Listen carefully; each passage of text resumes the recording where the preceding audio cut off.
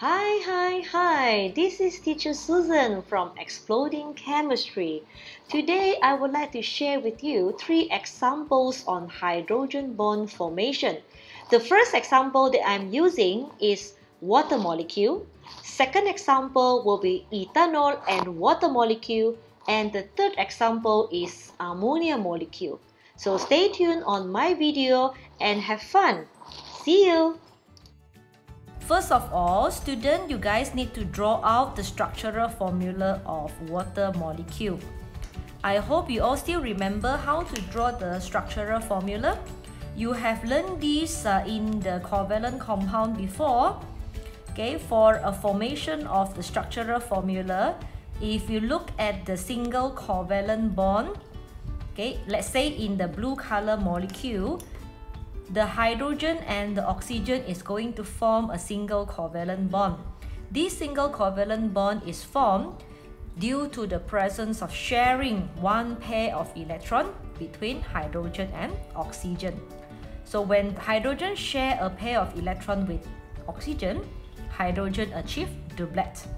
In the same time, oxygen achieve octet electron arrangement. Just a slight reminder for you guys. Now, we have two water molecule here. One black color, one blue color. How do I know whether these molecule can form hydrogen bond or not? There are two characteristic, two criteria that this molecule must achieve. So this is also one way the teacher help you to um, predict, to remember whether this molecule able to achieve or able to form hydrogen bond or not. Condition number one, terms and condition number one, when you check on your molecule, make sure your molecule must have hydrogen atom. Now let's check. Hydrogen atom appear, yes, condition one is achieved. Condition number two, remember north, north, north. What is north? N or F? N or F? What is north? North means nitrogen, oxygen, fluorine. These three type of atoms, they are the atoms of highly electronegative. So in our condition number two, hydrogen atom that want to form a hydrogen bond, these hydrogen atom, first of all, they must be bonded to any one of the north. This hydrogen atom must be bonded to atom which is having highly electronegative. So in this case here, we check, yes, we have north, one of the member of north. We have oxygen which is highly electronegative in molecule number 1. We have oxygen which is atom of highly electronegative in atom eh, sorry, in molecule number 2. So meaning to say these two molecule has achieved, has fulfilled the two characteristic. So now they are ready to form a hydrogen bond. But how this hydrogen bond is formed? Okay, number one, from our first molecule, okay, from our first molecule, we identify atoms of the highly electronegative. This one here. From at molecule number 2, we identify hydrogen atom that attach, that bonded to highly electronegative atom, which is here. So when these two atoms appear, this is where the formation of hydrogen bond is. So the red color dotted line that teacher draw here basically is our hydrogen bond. Alright, so can my water molecule form another hydrogen bond? Yes. If let's say, let's say we have another one more water molecule here. Okay, the third water molecule. Now look at the blue color water molecule. This hydrogen in the blue color water molecule is bonded to highly electronegative oxygen atom. So this one is ready. This hydrogen atom is ready. In my third molecule, I can observe, I see one oxygen atom which is highly electronegative. Immediately, they are going to form another hydrogen bond here. Okay, can you get it now students? This is how we are forming the hydrogen bond in water molecule. So, what did I say just now? Number one, in order to form hydrogen bond, molecule must contain hydrogen atoms. Number two, hydrogen atoms in the molecule must be bonded to highly electronegative atom. What are those highly electronegative atoms? Example 1, nitrogen. Example 2, oxygen. Example 3, fluorine. So we have enough.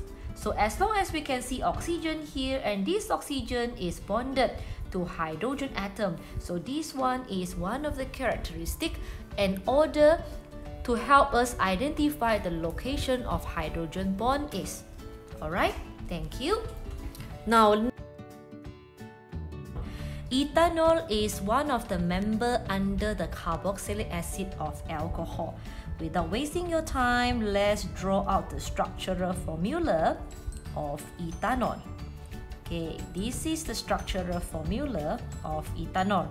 So now I would like to know whether ethanol can form hydrogen bond with water or not. If they are forming hydrogen bond with water, whether this water is going to help the solubility of ethanol or not. So first of all, as I mentioned just now, we need to check whether the molecule given to us fulfill two characteristics or not. Number one, do they have a hydrogen atom? Yes. Okay, both molecule has hydrogen atoms. Number two, do this uh, hydrogen atom bonded to a very electronegative atom? Example, nitrogen, oxygen, or fluorine. Oh yes, look at ethanol. Okay, hydrogen is bonded to the oxygen in the ethanol. This oxygen is highly electronegative. And in water molecule itself, both hydrogen atom is bonded to oxygen, which is another highly electronegative atom. So they are fulfilling the characteristic to form hydrogen bond. So now the question is, where is this hydrogen bond found? Okay, so now we look at ethanol. In ethanol, we observe the presence of oxygen. So this is the location of the very electronegative atom. And in our water, since molecule 1 contribute oxygen, so in molecule number 2, it must be hydrogen. So hydrogen, this hydrogen that I labeled red color here is attached, is bonded to highly electronegative oxygen. So therefore, this hydrogen is ready to form hydrogen bond with the oxygen atom from the ethanol. So this is the location of where the formation of hydrogen bond is. Since ethanol, if we look at the size of ethanol, ethanol is a simple molecule. Okay, let's look at this part. This part of the ethanol where the hydroxyl group is, it is forming the hydrogen bond with the water molecule. Actually, we can form another hydrogen bond. Okay, we are going to form another hydrogen bond here. So let's say we have another water molecule coming approach to our ethanol, the oxygen atom from the ethanol is ready to form another hydrogen bond with the hydrogen atom from water molecule. Due to the presence of these hydrogen bond, hydrogen bond that forming in between the ethanol molecule as well as the water molecule, it is going to help the solubility of the ethanol in water. As I mentioned just now, when we look at this part, okay, it is a small part of the molecule. When we look at another part of ethanol, it is considered as a simple molecule as well. So this water, when they come approach into the ethanol molecule and forming hydrogen bond with the ethanol molecule, they are going to help pulling the ethanol into the water and thus causing the solubility of ethanol in the water. If we give you a bigger molecule of alcohol, example hexanol, hexanol only have one OH group, but the rest of the compound is big. So even though we are forming two hydrogen bond, it is not going to help in the solubility of hexanol in water. Alright, thank you. I would like to give you another highly electronegative atom which is hydrogen. Eh, sorry, nitrogen. Okay, I would like to give you another one which is nitrogen. So I'm going to give you two molecule of ammonia. These two molecule ammonia Okay, I believe that at this moment student is able to draw the structural formula of ammonia after you have learned covalent compound formation in the lesson previously. Now to make things easy, as we remember just now, there are two characteristics that each molecule need to achieve before they can form hydrogen bond. What are the first one? Number one, each molecule must have hydrogen atom then both of them have. Uh, exam, um, sorry, characteristic number two, this hydrogen atom in each molecule must be bonded to highly electronegative atoms. We have NOF, nitrogen or oxygen or fluorine. So in this case here, we observe nitrogen. We can see nitrogen appear in both molecules. So now, where is the location of the hydrogen bond? Look at your molecule number 1.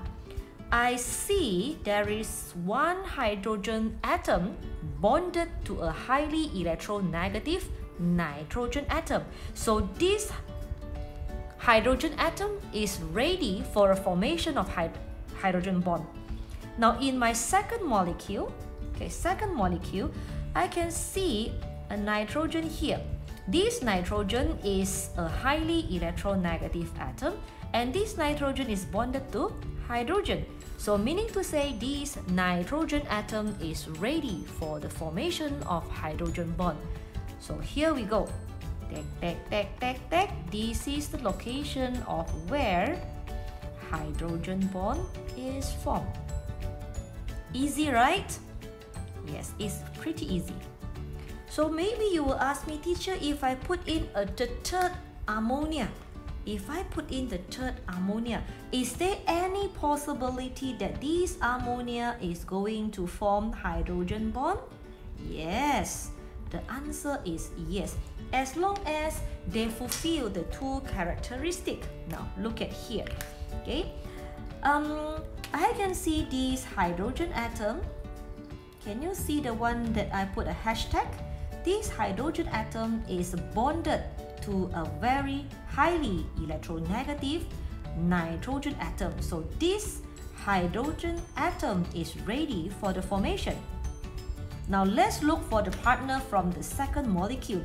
Since one nitrogen hydrogen atom is ready, so we need to look for either oxygen or nitrogen or fluorine from the second molecule. In my second molecule, I can see a nitrogen, which I draw a hashtag here. So this is the location here in between the hydrogen atom and the nitrogen atom, whereby this is the location of the hydrogen bond. Now remove the hashtag and here we go. We label this as hydrogen bond. This is how we find out the location of where hydrogen bond is formed and this is the place whereby we draw in the hydrogen bond. It's easy, right student? Alright, thank you for your time. Hi guys, thank you for watching. Teacher hope that today's sharing is going to help you in understand the formation of hydrogen bond better. Remember, in order to form hydrogen bond, molecule must have hydrogen atom and this hydrogen atom must be bonded to highly electronegative atoms like nitrogen, oxygen, or even fluorine, NOF. So stay tuned in my YouTube channel, Rainbow Susan. Like my video, share it out, get comment, and don't forget to subscribe. See you again.